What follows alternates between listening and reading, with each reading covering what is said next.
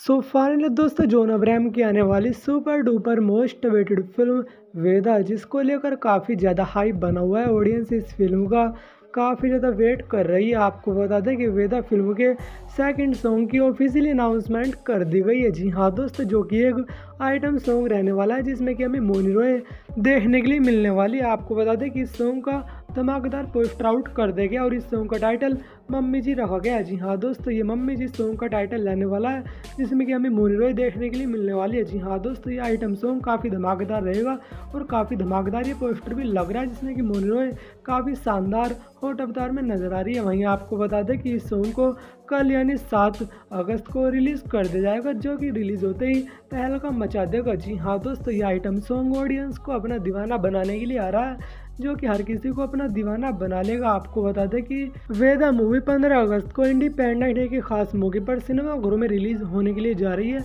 और ये मूवी एक एक्शन पैक्ड फ़िल्म रहने वाली है, जिसमें कि हमें कुछ अलग हटके स्टोरी देखने के लिए मिलने वाली है। जी हाँ दोस्तों, इस मूवी में जॉन अब्राहम के अपोजिट हमें सरवरी देखने के लिए मिलने वाली है।